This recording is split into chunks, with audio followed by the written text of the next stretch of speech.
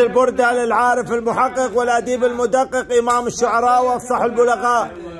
آه، مولانا صحيح لحظة مقبل. صحيح آه، عنوانه الإمام المحقق والأديب المدقق إمام الشعراء وأفصح البلغاء ال- ال- آه، الشيخ شرف الدين أبو عبد الله محمد بن سعيد بن حماد بن بن عبد الله بن صنهاج بن علال الصنهاجي البصيري.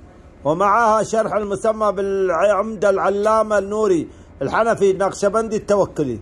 توقع اسمعني يقول لا شو لا تنكر الوحي من رؤياه أن له قلبا إذا نامت العينان لم ينمي.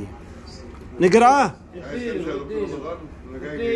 قوله لا تنكر الوحي ما يلقى إليه من الأحكام وقوله من رؤيا حال من الوحي.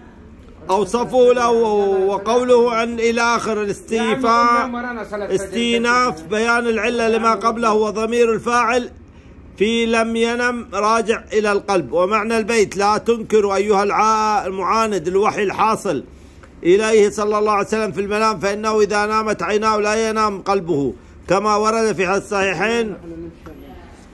صبروا يا ناس.